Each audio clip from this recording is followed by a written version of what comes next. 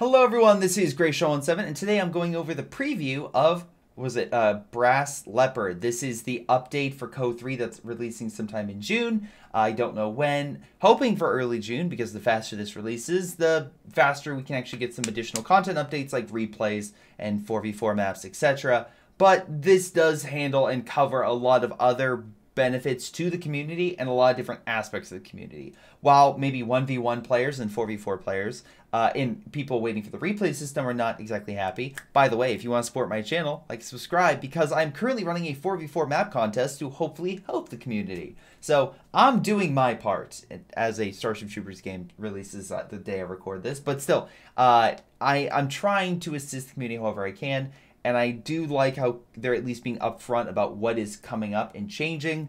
I would like these updates faster, but I understand that again they have a pipeline of stuff they have to get to. And again, I am glad I'm very happy about the changes in this that they showcase. Uh, but like I said, we'll get to that in more detail as I want to be as positive as I can be about some of this aspect and also criticize things that I rightfully think that need updated or could have been better done. In the video, you can see John, you have Marco, gameplay designer, and DevM, uh, which is a gameplay designer as well. Which, again, it's awesome that they invited someone from the community into it. So, awesome job there. But uh, some of the things that they cover is airstrikes and essentially how that is changing. Because before, uh, if we go through these airstrikes, uh, they were not as great. We just see here this P47 strike. You'd see the shadow up top. Uh, by the way, this YouTube this is a YouTube video you can pull off their site, uh, but to get more detail. Uh, but just quickly running through, you can see the plane much faster, much smoother, uh, not as choppy, and the airstrike is much more impactful. So again, that's good. They did say that they're going to make some balance changes um, to some of these. Uh, so again, maybe the rocket strife is going to be stronger. Uh, as you can see here, more consistent with the airstrike. Uh, fragmentation bomb, again, this also goes with the strafing run. All airstrikes are being adjusted in some capacity. You can see, again, the choppiness right there of that strike. And now upcoming, you're going to see pretty much a better strike, more consistent, and especially for a fragmentation bomb, it needed a bit of an update. So, hey, I'm glad it does a bit more damage to it. So, overall, not bad at all with that stuff. Um, also, we have updates with sound. Uh, they put up a bunch of videos in their Discord about the Flak 36 and the Sherman. Um, in the video itself, they do cover the MG. So I'm going to quickly go over that and turn on the audio so you guys can hear it. Um, again, it's just a lighter sound for this M1919. And again, they're doing this for multiple units and uh, they're making it sound a lot beefier. So that sounds a hell of a lot better in my opinion. Yeah, no, I'm, I'm very happy with the, the sound design on that. Um, they cut off the Sherman one, so I, I don't have that. But again, it's on their Discord, and I believe on their Twitter that them changing a lot of those aspects. Another thing they're at, they're changing is going to be uh, the unit icons and also player uh, identification. So if we go back to the game, this is on the new 3v3 map. I'll get that in a second. You can see here Marco, right? So it's displaying that person's name over their icon, right? So that is awesome. You can have the name down here so you know who you are, right? And the and and of course your team can see that. That's just overall pretty awesome in my opinion, right? Because then I know who I'm actually fighting and who's actually uh, fighting with me. So just uh, again, uh, that I enjoy and I like, and I'm very excited for that uh, coming up.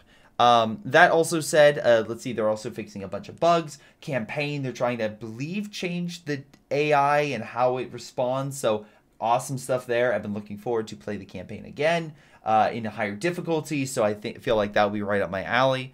Um, the other thing is this 3v3 map, and I feel like all right, let's get to it because I am of a mixed opinions on this. Uh, a lot of people are disappointed because this map, which I think it's called like Catalan or something like that, crossing, right? I'm, I'm butchering the name, but um, the thing about it is it's essentially a remake of Sitard Summer. Hopefully, this thing doesn't chug like Sitard Summer, but if it doesn't, I see no reason for not to put this in auto match because one, there's only I, I know there's three 3v3 maps, but one of them is a pasted copy and a shorter variation of a 4v4 map. It's okay, but I truly think that it would just be better if you just did you know you put it in because at least it gives people an option and then you can maybe veto a map right? I put in a veto system uh, for one or two maps right? If you really can't do that for 4v4 but 3v3 2v2 and 1v1 when there's five four and three maps respectively yeah you can put in a small low veto system.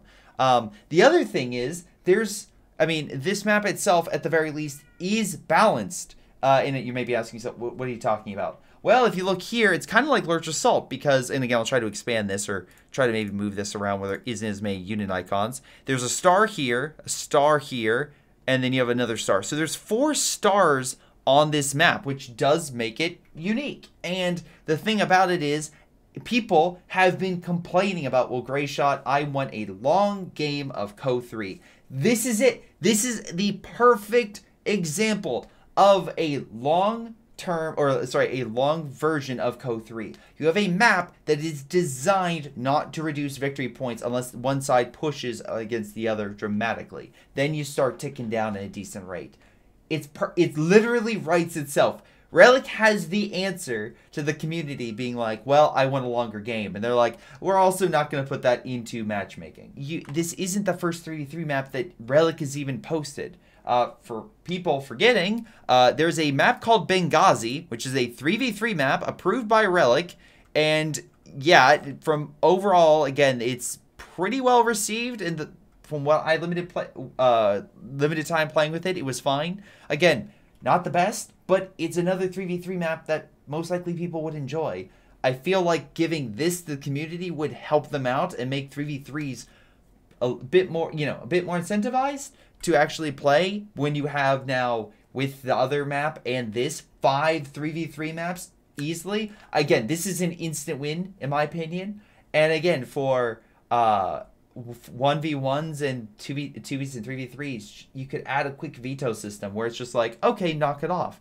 I understand where it's like, well, Greyshot, there's not many people playing in the community. But if you add those features and add the additional maps, I feel like you would bring in the community a lot quicker uh, but that's just me. Again, I'm not a game designer. I don't know how hard it would be to add a veto system that was in CoH 2, or how hard it would be to put this into the game, into the auto match system, uh, or the other map into the auto match system. I, I would assume it can't be too difficult, but I feel like this would be a step in the right direction for content to bring people in to then sell your cosmetics and to have people say, hey, this game has more maps. You should probably check it out. But again, that that's that's just me.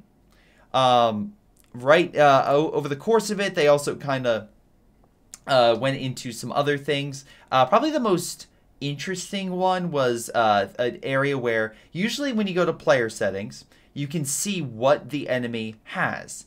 Uh, so I'm gonna pull this up here. So they changed that to where now you can only see the three. Well, you can see who they are, but you can only see the three battle groups. Uh, by the way, if you hear my cat, sorry, I had to keep her outside. She was messing. Uh, she was running around while I was trying to record. But anyway, uh, in this, you can essentially go through all the different battle groups, but you don't know what they pick. Now, this also makes me think that the whatever expansion or whatever the next thing is, it's going to be adding battle groups because I don't know. It feels weird to just have this when they're all standardized the same unless the next expansion, which should hopefully be out next few months, isn't going to bring in more battle groups, which hopefully adds more variety. Um, now, to be fair, I don't mind the idea of seeing what the enemy picked. Again, I don't feel like that changes any gameplay styles or anything like that, at least for me. Maybe the competitive guys are like, well, then now I know this guy went breakthrough, so I, will do a counter. It's like, okay. You probably could have saw breakthrough when they made a unit that had the MP40s, but what do I know?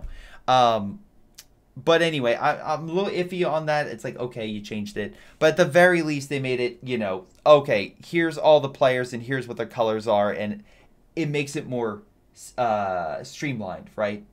But that's me. That's, again, just me. Um, but that's my overall impression, again, of what they showed. They also showed some behind the scenes, uh, not behind the scenes, I guess a trailer for a show called FDR, probably the History Channel. Okay. Um, look, I don't mind history stuff. History Channel hasn't exactly made a lot of great history content. I could be wrong. If it's made something else really solid, please let me know in the comments below. But to me, it's a lot of YouTube content like Kings and Generals, Armchair Historian, Time Ghost have done a way better job at being more historically accurate and entertaining. than a lot of stuff from the History Channel, but that's just me. Um, but yeah, they've gone over. To, they answered a bunch of questions. Again, replay mode that nothing's happening with that, or observer mode. Uh, no 4v4 maps right now. Uh, but again, if you want to support my channel, I am hosting a 4v4 map competition to hopefully help the community out and make some awesome 4v4 games. So, again, uh, let me know what you think of this. Again, overall, I like the changes. I feel like they can go one step further, but that's me. Let me know what you think down below. This has been Greyshot17 doing a quick recap of the update or preview, and I'll see you all next time. Hello, everyone. This is Greyshot17, and before y'all go, let me give a special shout out to Patreon supporters Joey G240, Milam, Big Cooch, Aphyria, Ace, Pyro Shark, Tony B95, Epic Pleb. Thank you all for your incredible support and helping me grow my channel and support my channel and everything I do. Thank you, and to the rest of you, thanks for watching, and I'll see you guys next time.